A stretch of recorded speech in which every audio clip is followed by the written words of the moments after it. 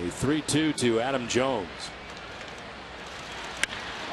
Hook to left center field and diving is Van Every.